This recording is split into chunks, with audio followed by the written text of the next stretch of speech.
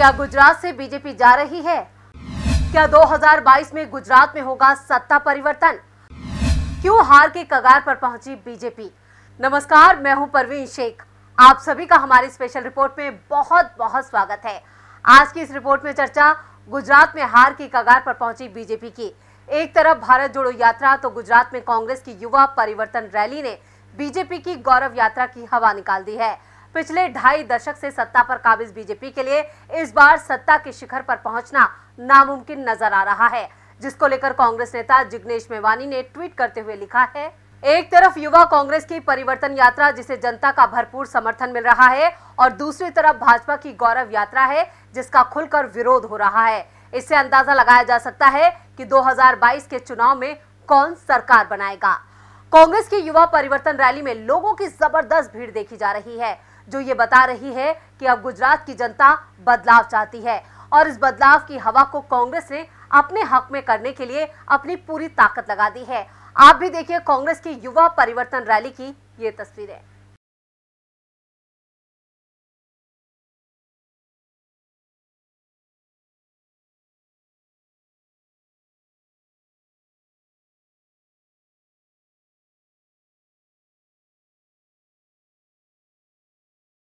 गुजरात में चुनाव का मैदान सज चुका है।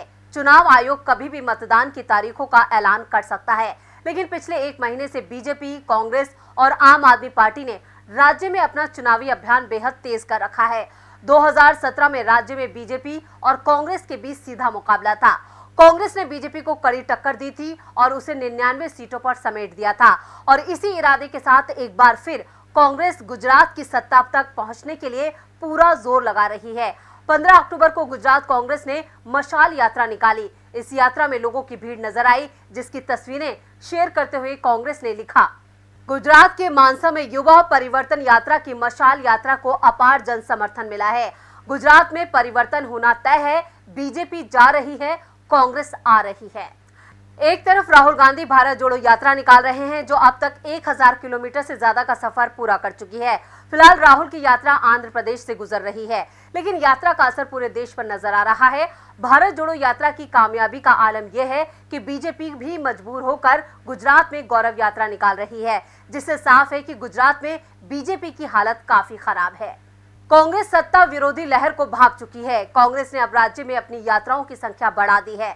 बीजेपी की गौरव यात्रा राज्य में पूरी तरह से फेल नज़र आ रही है। राहुल गांधी भी जल्द ही भारत जोड़ो यात्रा से ब्रेक लेकर गुजरात के दौरे पर जाने वाले हैं। इसकी जानकारी खुद सीएम अशोक गहलोत ने दी है। कांग्रेस पार्टी सुनियोजित तरीके से गुजरात के हर ज़िले में अपना अभियान तेज कर रखा है। कांग्रेस नेता और कार्यकर्ता राहुल गांधी के आदेश के बाद लगातार जनता के बीच जा रहे हैं और बीजेपी की नाकामियों की पोल खोल रहे हैं। बीजेपी भी कांग्रेस के इस अभियान से डरी नज़र आ रही है। पीएम मोदी खुद 10 अक्टूबर को बीजेपी कार्यकर्ताओं को कांग्रेस के साइलेंट कैंपेनिंग के बारे में आगाह कर चुके हैं। पीएम मोदी ने कहा था कि पहले के चुनाव में कांग्रेस काफ़ी शोर शराबा किया करती थी और बीजेपी का सफाया करने की शेखी भगाड़ती थी। लेकिन 20 सालों में हम नहीं हारे, इसलिए उसने कुछ नया किया है। इसी कारण हमें सतर्क रहने की ज़रूरत है। इससे साफ़ है कि कांग्रेस के अभियान ने बीजेपी पर दबाव बनाना शुरू कर दिया है, जो कांग्रेस की मजबूती की तरफ़ इशारा कर रहा है। गुजरात विधानसभा चुनाव जैसे जैसे नज़दीक आ रहा है गुजरात में राजनीतिक सरगर्मियाँ तेज होती जा रही हैं। कांग्रेस उम्मीदवारों की लिस्ट को लेकर बड़ी खबर सामने आ रही है। कांग्रेस स्क्रीनिंग कमेटी की बैठक 19, 20 और 21 अक्टूबर को होगी जिसमें उम्मीदवारों की पहली सूची पर मोहर लगेगी। गुजरात कांग्रेस की स्क्रीनिंग कमेटी की बैठक दिल्ली में होगी। दिवाली के बाद कांग्रेस उम्मीदवारों की पहली सूची का ऐलान कर सकती है। सूची की घोषणा दो से तीन चरणों में की जाएगी। साथ ही यहाँ पर स्क्रीनिंग कमेटी की बैठक 19, 20 और 21 अक्टूबर को दिल्ली में होगी। स्क्रीनिंग कमेटी के तुरंत बाद केंद्रीय चुनाव समिति की बैठक होनी है। सीईसी की बैठक में कांग्रेस उम्मीदवारों को अंतिम रूप दिया जाएगा। कांग्रेस उम्मीदवारों की पहली सूची दिवाली के बाद घोषित करने की योजना है। बैठक के लिए प्रभारी रघु शर्मा जगदीश ठाकुर और सुखराम रठावा दिल्ली जाएँगे। गुजरात में इस साल के आखिर में विधानसभा चुनाव है। चुनाव आयोग गुजरात में कभी भी विधानसभा चुनाव की तारीखों का ऐलान कर सकता है। चुनाव की तारीखों के ऐलान से पहले ही गुजरात में तमाम पार्टियों ने अपनी कमर कस ली है और चुनाव प्रचार में जुट गई है। चुनाव से पहले तमाम एजेंसियाँ गुजरात की जनता का मूड भापने में जुटी हैं। सवाल पूछे जा रहे हैं कि गुजरात में सबसे बड़ा मुद्दा क्या है? गुजरात की जनता किस किस आधार पर वोट करेगी? गुजरात में सबसे बड़ा मुद्दा क्या है? गुजरात में इस साल के अंत में विधानसभा चुनाव के लिए सबसे बड़े मुद्दे को लेकर लोगों से उनकी राय पूछी गई। सर्वे में गुजरात के लोगों ने बेरोजगारी को सबसे बड़ा मुद्दा माना है। गुजरात के लोगों के लिए इस वक्त सबसे बड़ा मुद्दा बेरोजगारी है। गुजरात में 31 फ़ीसदी ऐसे लोग हैं जिन्हें ये लगता है कि गुजरात में बेरोजगारी सबसे बड़ा मुद्दा है। इसके बाद बुनियादी सुविधाएँ 16 फ़ीसदी, किसान से जुड़े मुद्दों को 15 फ़ीसदी, महँगाई को 8 फ़ीसदी, कोरोना में काम को लेकर 4 फ़ीसदी, कानून व्यवस्था 3 फ़ीसदी, भ्रष्टाचार सात फ़ीसदी, राष्ट्रीय मुद्दे को तीन फ़ीसदी लोगों ने और दूसरे मुद्दे को तेरह फ़ीसदी लोगों ने बड़ा मुद्दा माना है। कांग्रेस देश भर में बेरोजगारी के मुद्दे को ज़ोर शोर से उठा रही है। राहुल गांधी भी बेरोजगारी को लेकर कई बार मोदी सरकार को घेर चुके हैं। कांग्रेस की भारत जोड़ो यात्रा अब तक 1000 किलोमीटर से ज़्यादा का सफ़र तय कर चुकी है। अपनी इस यात्रा में राहुल गांधी बेरोजगारी को लेकर पीएम मोदी से कई बार सवाल पूछ चुके हैं। आज हिंदुस्तान में 45 साल से सबसे ज़्यादा बेरोजगारी है। प्रधानमंत्री ने कहा था, हर साल दो करोड़ युवाओं को रोज़गार दूँगा। कहाँ गए दो, दो करोड़ रोज़गार। उल्टा करोड़ों युवाओं को बेरोजगार कर दिया है। कर्नाटक में ढाई लाख सरकारी पोस्ट वेकेंट क्यों हैं?